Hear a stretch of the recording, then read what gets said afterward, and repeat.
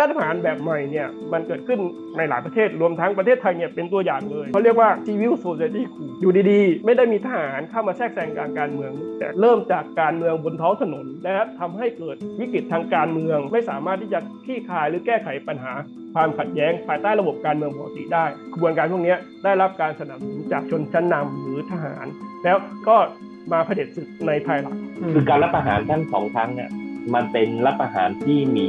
ใบอนุญาต คือมันมีเงื่อนไขว่ามันจะต้องมีมวลชนออกมารองรับ เมื่อทำแล้วเนี่ยประชาชนจำนวนหนึ่งรู้สึกเห็นด้วย หรือไม่งั้นก็รู้สึกไม่คัดค้าน ประชาชนก็ยังอ่อนแอเกินไปที่จะต่อต้าน การรัฐประหารจึงมีความสำเร็จ แล้วก็มีความชอบธรรมทางการเมืองระดับหนึ่ง เพื่อจะอธิบายทั้งคนในสังคมไทยแล้วก็ชาวโลก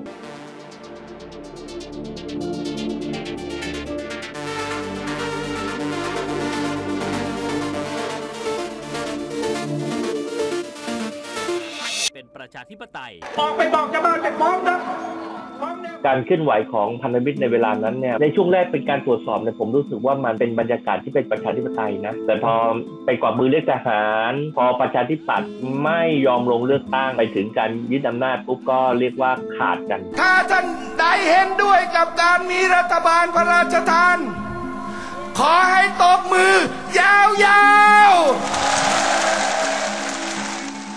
ทำให้เราคิดว่ากระบวนการที่เคลื่อนกันมานั้นเนี่ยมันมีเบื้องหลังของการเคลื่อน มันไม่ใช่การเคลื่อนไหวเพื่อการตรวจสอบพี่เนี่ยชัดเจนว่าก็ไม่ไม่ชอบทักษิณแต่เห็นด้วยกับที่ทักษิณยุบสภา แล้วก็ลาออกแล้วก็จะให้มีการเลือกตั้งอันนี้เห็นด้วยรัฐประหารไม่เอานี่เราชัวร้อยเปอร์เซ็นต์เราจำได้ว่าเราจัดเสวนาเชิญอาจารย์วรเจตน์มาพูดด้วยเรื่องว่าเทมาเซกมันเป็นฝั่งเส้นสุดท้ายที่ทักษิณเทหุ้นขายหุ้นเนี่ยมันแย่อย่างไงเพราะฉะนั้นแล้วการวิพากษ์วิจารณ์ ของนักวิชาการสมัยนั้นค่อนข้างไปในทางเดียวกันหมดที่จะไม่เอาทักษิณคงมองภาพเดียวกันแบบที่เรามองที่สิงคโปร์เพราะสิงคโปร์ก็เป็นพรรคการเมืองแบบนั้น คือกินรวบเข้ามาหมดมีพรรคฝ่ายค้านนิดเดียว อยู่ในอำนาจนาน แล้วก็กลัวการที่ทักษิณจะอยู่ในอำนาจนาน เพราะว่าคิดว่าทักษิณจะเลิงอำนาจ มีพักพวกเราอยู่จำนวนไม่น้อยรวมถึงผู้หลักผู้ใหญ่ในแวดวง NGO ที่เป็นเดือดเป็นร้อน จากการที่คะแนนนิยมของทักษิณเนี่ย เติบโตในช่วงรัฐบาลทักษิณนะอืมทันทีที่มีกองทุนหมู่บ้านโครงการ SME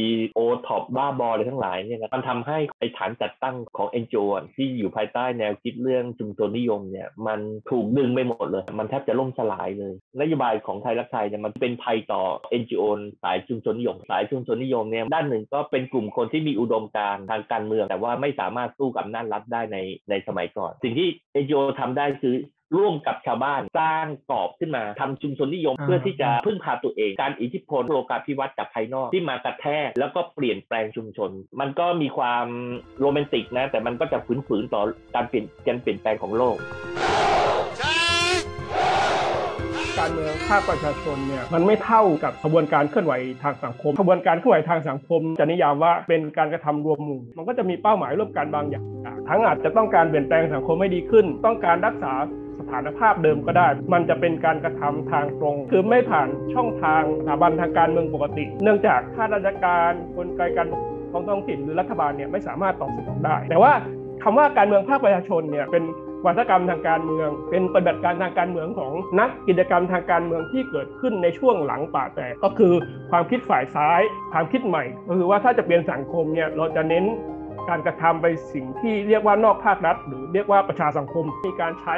คำนี้เนี่ยในช่วงหลังเหตุการณ์พฤษภาธมิน35 ซึ่งเป็นช่วงที่ในแง่ของการเมืองเนี่ยคือว่าอำนาจทางการเมืองเนี่ยมันย้ายจากทหารข้าราชการในยุคประชาธิปไตยครึ่งใบเนี่ยมาเป็นผู้นำที่อยู่ในรัฐสภาที่พรรคการเมืองมีบทบาทสำคัญมากขึ้นลักษณะที่สำคัญของการเมืองภาคประชาชนเนี่ยมีลักษณะที่เป็นวิพากษ์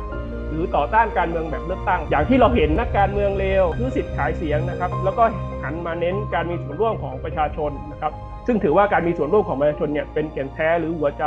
ของประชาธิปไตยสูงส่งมากกว่าการเมืองในระบบตัวแทนนะครับ ลักษณะที่สองนะครับมันหวนคืนดีกับเจ้า หรืออย่างน้อยเนี่ย ไม่คิดว่าเจ้าเป็นตัวแสดงทางการเมืองที่สำคัญอีกต่อไป ต่างจากความคิดฝ่ายซ้ายเมื่อก่อน มันถูกนิยาม แล้วก็ถูกใช้ด้วยองค์กรพัฒนาเอกชน ซึ่งนำโดยคณะกรรมการรณรงค์เพื่อประชาธิปไตย แล้วก็กปอปชนะครับ ซึ่งพวกนี้ก็จะถือตนว่าเป็นตัวแทนของการเมืองภาคประชาชน แล้วเวลาทำอะไรเขาก็จะอ้างว่าตัวเองเป็นภาคประชาชนนะครับความผิดพลาดเนี่ยเราตอนนั้นเราคิดว่าเวลาเรามองมองเรื่องทักษิณเนี่ยเราเนี่ยไม่ได้มองงานทักษิณโดยภาพรอบด้าน เราไม่ชอบทักษิณเนี่ยเรามันเหมือนกับคนทั่วไปอะที่พร้อมจะด่ารัฐบาล เพราะฉะนั้นเมื่อรัฐบาลทำไม่ดีตามที่เรารู้สึกก็คือทาง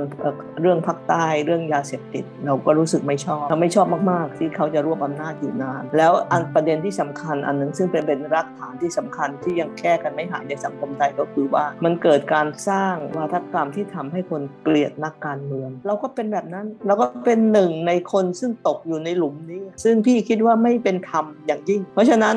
ก็เลิกที่จะสร้างภาพเหมารวมว่านักการเมืองมันต้องแย่มันต้องชั่ว สิ่งซึ่งมันจะช่วยทำให้ประชาธิปไตยหรือระบบการปกครอง หรือสังคมมันมันไปได้ด้วยดี ก็มาคิดเรื่องระบบการตรวจสอบมากขึ้น แล้วก็ต้องตรวจสอบคนทุกคนไม่มีใครที่ดีเกินไปจนตรวจสอบไม่ได้ ไม่มีใครชั่วเกินไปที่จะต้องตรวจสอบแม่งละเอียดเป็นพิเศษ เพราะฉะนั้นอย่างงบประมาณของกระทรวงกลาโหมเราแตะไม่ได้ งบประมาณของกรมศาสนาเราแตะไม่ได้ งบประมาณของกระทรวงกิจการในพระองค์แตะไม่ได้อย่างเงี้ย ก็ไม่ควรจะเกิดขึ้นอีกแล้ว อะไรเป็นบทเรียนของผมเนี่ยผมคิดว่ามันสามารถเชื่อมโยงกับปัจจุบันได้เลย เราควรจะมีวัฒนธรรมเรื่องของการวิพากษ์วิจารณ์การตรวจสอบกันเองอะไม่อย่างนั้นก็จะมีคนกลุ่มใดกลุ่มหนึ่ง ก็จะสถาปนาตัวเองเป็นเดปิเซนขององค์กรประชาธิปไตยเพราะฉะนั้นวิธีการป้องกันก็คือว่า อย่ายอมกับกับความสามารถที่ไม่เท่าเทียม อย่ายอมปิดปาก เพราะว่าเป็นฝ่ายประชาธิปไตยด้วยกันหรือเป็นฝ่ายประชาชนด้วยกัน อย่ายอมปิดปากให้ฝ่ายหนึ่งเอารัดเอาเปรียบ